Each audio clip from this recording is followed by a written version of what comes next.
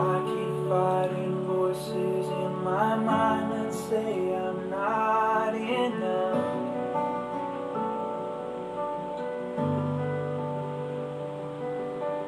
Every single lie that tells me I will never measure up. Good morning, JJ. Good morning. Good morning, Sheila. I was live in a different, uh, my different FB this morning. I thought I was already in JJ, but uh, here we are this morning, and uh, we thank the Lord for giving us this privilege to come again together and um, study the Word of God. Okay, so may your uh, day be blessed today, and I pray that the Lord will uh, give you peace and comfort as uh, you go along this day. Our passage today is found in um, Psalm 139. 139 of Psalm is the Psalm of David, and here we go. From the director of music of David, a Psalm. Okay? He says here, You have searched me, Lord, and you know me. You know when I sit and when I rise. You perceive my thoughts from afar. You discern my going out and my lying down. You are familiar with all my ways. Before a word is on my tongue, you know, you, Lord, complete know it completely. You hem me in behind and before, and you lay your hand upon me. Such knowledge is too wonderful for me, too lofty for me to attain. Where can I go from your spirit? Where can I flee from your presence? If I go up to heaven, say you are there. If I make my bed in depths, in the depths you are there. If I rise on the wings of the dawn, if I settle on the far side of the sea, even there your hand will guide me, your right hand will hold me fast. If I sure if I say surely the darkness will hide me and the light become night around me, even darkness will not be dark to you. The night will shine like the day, for darkness is as light to you. For you created my inmost being, you knit me together in my mother's womb. I praise you because you I am fearfully and wonderfully made. Your works are wonderful. I know that full well. That is uh, Psalm 139 this morning. Uh, good morning, Bernadette. May the Lord bless the reading of His Word and uh, let's pray first. Father, we thank you for this beautiful morning that you have given to us. And we pray, Father, that we'll have a good time together in uh, studying your Word. Keep us safe today, and I know you will never leave us nor forsake us. Bless each one who will be coming to join us in this meditation, and also may you help us, Lord, in our decisions for today. In Jesus' name we pray. Amen. And uh, we thank the Lord for this beautiful day that God is uh, um, leading us to do today. And whatever things He wants us to do today, may we always do worshiping Him. Whatever we do, His name will always be glorified. So, um, this is a beautiful subject this morning. Um, we have the verse there, okay? The verse is um, verse 14. It says, I praise you because I am fearfully and wonderfully made. Your works are wonderful, I know that full well. I praise you because I am fearfully and wonderfully made. That is a very good verse today, and um, I pray that uh, we will uh, um, stick on to that. It's because uh, sometimes it is very controversial, controversial verse, but uh, it is a very nice verse for us to study this morning. Okay, so um, when you hear or read this verse, what things are going into your mind? Okay, I praise you because I am fearfully and wonderfully made. Your works are wonderful. I know that full well. The word fearful there uh, in verse uh, 14. Okay. Fearfully or fearfully and wonderfully made. Uh, that verse there. Okay. Um, the context does not mean the context of this verse does that does not mean that you will be literally scared or literally be afraid. It, but it means quite the opposite that you were created by God with great reverence, heartfelt interest, and respect. To be unique and set apart. So when God says, I praise you, or uh, David says, I praise you because I am fearfully and wonderfully made, it means that God created you, made you with great reverence, with heartfelt interest and respect to be unique and set apart. So you are different from other people. I am different from you. Although we are all human beings, but our DNA is different. Okay, but we are fearfully and uh, we are created with great fear or with reverence with heartfelt and with interest.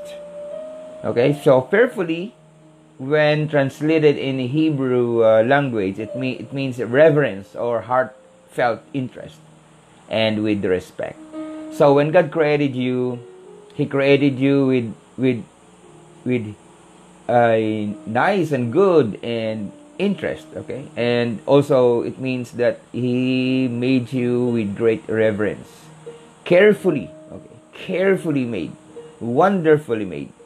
And it means that God created you with respect also. So, wonderfully, when translated with Hebrew, means unique or set apart. So, each person that is created by God, they are created unique. They are they are set apart from others. Okay. So, in Psalm 139, verse 14, the other translation says, God made all the delicate inner parts of my body. He knit me together within my mother's womb. I was made wonderfully complex. God knew me as He was painstakingly designing me with much loving care. ganda, no? This is a good, this is a good translation. Okay, God made all the delicate inner parts of my body. And he knit me together within my mother's womb. He was made one I was made wonderfully complex. God knew me as he was painstakingly designing me with much loving care. So we did not evolve, okay? We don't believe in evolution. We don't believe that we came from monkeys and fish and frogs and flies and all those insects. We don't believe that we are we came from there. We came from them okay? But we are created by god. Um, adam and eve were created by god directly okay so we were we were we are not evolving and we don't evolve from there you and i are created and designed with a purpose and uh, the blueprints of you are similar to other human beings, but they are not exactly the same. Because you are unique, I am unique. I am unique, and so are you. In verse 1 and in verse 2, it says here, okay, in verse 1 and in verse 2 of this uh, passage, it says, You have searched me, Lord, and you know me. You know when I sit and when I rise. You perceive my thoughts from afar. Okay, that is in verse 1 and in verse 2. So God created you, He engineered you in and out. He knows the very intricate part of your body your emotion, your physical attributes, your mind, your capacity to judge, your capacity to select, and many more. Okay, you are created very unique. Um, it is you are different from the animals. In verse 3 it says, You discern my going out and my lying down. So in verse 3 it says, God discerns your decisions. Okay. God discerns your thoughts. God, bad or good. He knows what is happening in your life. He is so interested in your life because man is the masterpiece of God. man is the masterpiece of God in his creation. So that's why he discerns your decisions, he discerns your thoughts, good or bad, and he knows what is happening in your life. Jennifer Heeren, and I quote uh, her this morning, it talks about the human body. What is uh, intricate in the human body?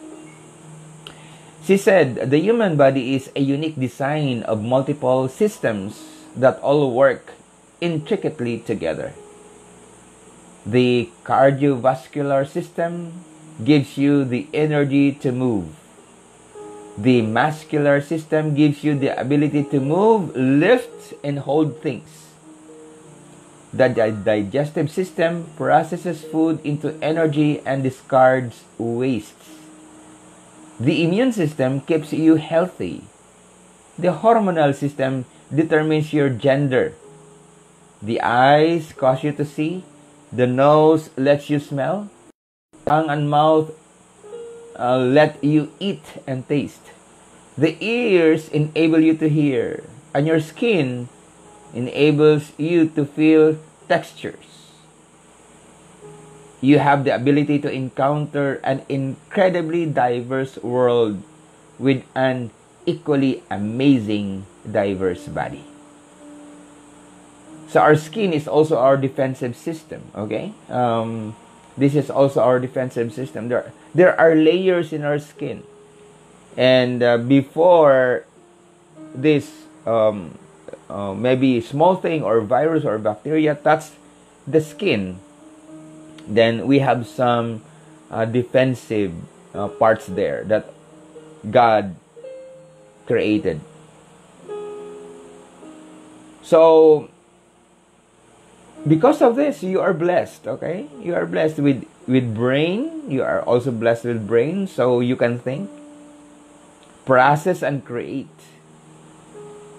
Isaac Asimov said that the brain is the most complex and orderly arrangement of matter in the universe. Complex but orderly arrangement of matter in this universe. It is very complex. Your brain, you know? Your emotions help you to relate to other people and feel compassion. You feel mercy, you feel grace, you feel love. All of these systems, plus many more, were uniquely designed to make you who you are. And that's you. Okay? And that is why the uh, David says, I am fearfully and createdly. I, we, he was created unique and he was created carefully by God. You have the innate ability to discern from right and wrong. Okay. Although that ability is hindered somewhat until you c- connect to your creator. You didn't just design, he God did not design you to do your own thing.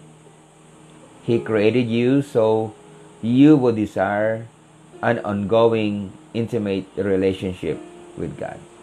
So you were designed with an intense need of the Creator. Okay? God. He is your Creator, He is my Creator. Without a relationship with Him, you will always be searching for something to fill that void in your life. You have the brain, you have the feet, you have the hand, you have the body and all of those um, important and intricate thing in your life.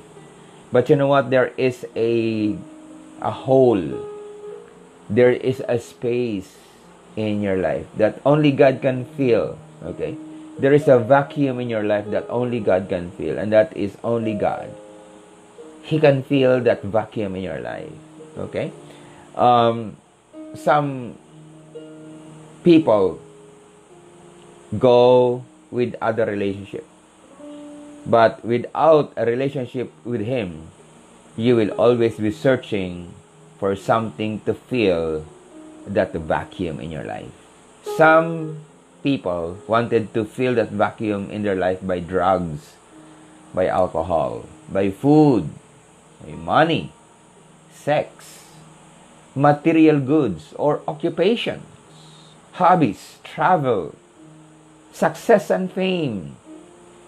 There are these are some of the ways which they will try to fill this vacuum in their hearts, in their life, inside them. They are looking for more, they are searching for more. But because this vacuum is created by God and only God could fill this. None of those things will ever fill it. Okay? So maybe one day you'll you'll say, "Oh, I'll have enough money to feel safe and secure. I'll find the perfect spouse that will complete me." Maybe you will say, "I'll get my dream uh, sports car or house and life will be grand." Or I'll be on the TV and people will know my name I'll be the best in my field and people will scout me out. But you know what? That one day will never come. If you're not happy with who you are today, right here and now, you'll never be. You'll never be happy with who you are today unless you begin to have a relationship with God. You begin to praise God for creating you just as you are. You are fearfully and wonderfully made. You are created intricately, creatively by God. Okay, in Ephesians uh, 2:10 it says, "For we are God's masterpiece. He has created us anew in Christ Jesus so we can do the good things he planned for us long ago. We are God's masterpiece. And so, if we are God's masterpiece, then we are created to fulfill what God has planned for us. If you are not fulfilling and I am not fulfilling what God is planning for my life, then I'll go to some other things. But those things that I said will never fill us complete. It never it will never fill our searching and hungry hearts. In verse 6, it says here, Such knowledge is too wonderful for me, too lofty for me to attain. And um, in verse 6, it says, The knowledge of God about me is so comforting and gives me security. So if you if you look at this verse and put your name there, okay? Uh, for example, Ronald or maybe Red. Such knowledge is too wonderful for Red or for Ronald, Roland too lofty for Ronald, Roland, and uh, Red to attain. And put your name there. So in verse 7, it says, Where can Red go from your spirit? Or where can Red flee from your presence? If Roland will up will go up to heavens, God is there. Or maybe you could say, if Eric rise on the wings of the dawn. Or maybe we'll say, or maybe Bernadette will settle on the far side of the sea. Even there your hand will guide me, your uh, right hand will hold me. And this is very precious because this is a very personal thing. No? The knowledge of God about me is so comforting and He gives me security. He gives you security. It gives you security because He is after our well being, He is after our safety for us to to have joy and happiness. And God wanted to bless your life in this life, okay? In this life. He wanted to give you peace because He knows every strand of your being. We know that we are not in a peaceful condition right now, but He wanted you to have peace. Uh, peace is not um, the security that you are experiencing around you, but it is a person inside you. If you have the Lord Jesus Christ in your heart, then you can settle down, you have peace. Okay? So, there, eh, let's go back to there in verse 7. Okay? And um, maybe Sheila could do that. Where can Sheila go from my spirit? Or where can Sheila flee from your presence? And that is a very comforting uh, okay? In verse 10, even there your hand will guide me, your right hand will hold me. If I say, surely darkness will hide me, and the light become light, and the light become night around me, even darkness will not be dark to you. The night will shine like the day, for darkness is as light to you. And that is God, okay? And that is God to us. And we can be seen by God because He is after our well being. He's not after our destruction. He is after for our good. This is how important we are to God. Okay? This passage is not only telling us the power of God to be present everywhere. He is everywhere. He is present. Okay? But it talks about why He is present everywhere. Why? He is there to take care of you. Okay? Even sometimes we are in the darkest place of our lives. Maybe we have committed sin. Maybe we have committed some not good things in our lives, in our families, in our work. Even when others cannot penetrate our inner sanctum. But to God, everything is light. Even in darkness, He is the light. Darkness is light to God, meaning nothing is hidden from God because He wanted to keep you safe. He wanted to keep me safe. We have some moments in our life that we choose to do contrary, contrary to what God has designed for us. We are designed to have an intimate relationship with God, but men do otherwise due to our corrupt flesh that beg for more than the designed purpose of God to man. Fortunately, God made a way for us to repent and turn to Him by sending His very Son to make a way, to make us happy again. When you do finally realize that without God you are unable to make the most of yourself, that's when things begin to change. Like the clay cannot mold itself to no matter how he hard hard it tries. However, God the potter cannot only mold his clay, but he also knows what his original design of you was. He is both a potter and an architect with a master plan. Okay, sometimes in this fallen world, people are born with birth defects that disrupt one or more of the intricate system of the body. But God foresaw and even uh, know those defects because of sin. And He uses them for good when He looked for them. Like a blind person can develop hearing beyond the normal capacity, like Beethoven conjoined twins can teach us about getting along with one another, for they have to do it 24 7. And someone born without arms develops the ability to use their feet in a very wondrous ways. Another born without legs develops the upper body strength to get around smoothly. Now, even in this fallen physical condition, God made it possible that man can survive. How much more when you are complete? How much more if your mind is good and brain is not impaired? How much more when your body can move where, whenever and wherever you want? God is now teaching us to be effective into what we are made to be. To preserve the creation of God with because we are stewards of this creation.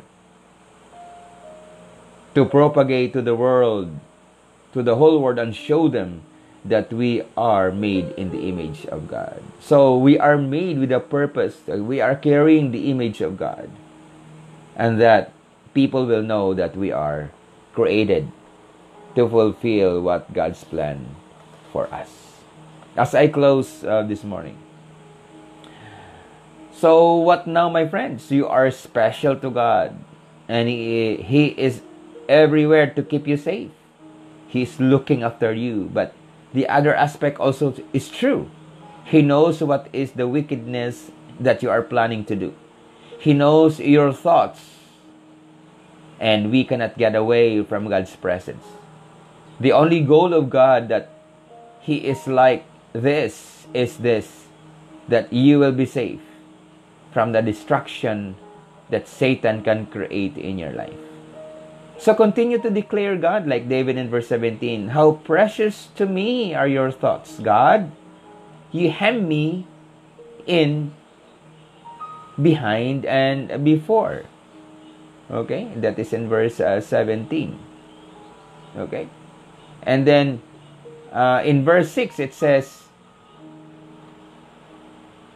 Such knowledge is too wonderful for me, too lofty for me to attain. And in verse 7 it says, Where can I go from your spirit? Where can I flee from your presence? And so God is a very um, interested in your life and in my life.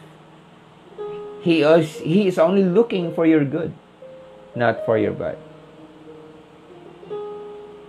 God is after for your for the good of his creation, not to destroy it, but if we continue to be stubborn, then we will be placed in jeopardy.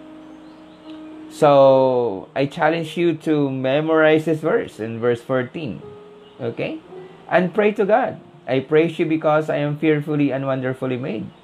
Your works are wonderful, and I know that full well. I pray that, and even in our uh, difficulties in our thinking, in our bodies, and maybe you have some kind of impairment, you can still praise God and say to Him, Lord, thank you because you made me wonderfully. You created me to what I am so that I can fulfill the promise that you have um, given to me and that I will also fulfill what you want me to do. So may the Lord God bless you today and keep safe always. And may uh, the the Spirit of the Lord will always uh, touch us and uh, say to your heart that, Son, I love you. Do good. And we continue to um, to bless God for this. Okay? Let's pray in closing. Father, we thank you for this very good morning that you have given to us. Thank you, Lord, because you have created us intricately, fearfully, with reverence, and we are set apart. You have an interest in us for our good. You have created us to fellowship with you, to communicate with you. Help us today as we serve you and give us strength.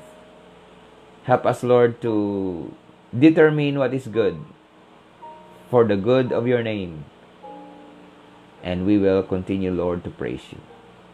Help us today. In Jesus' name we pray. Amen. Thank you so much. And may the Lord bless you and comfort you in this uh, time of uh, pandemic. And uh, He is there always to guide you.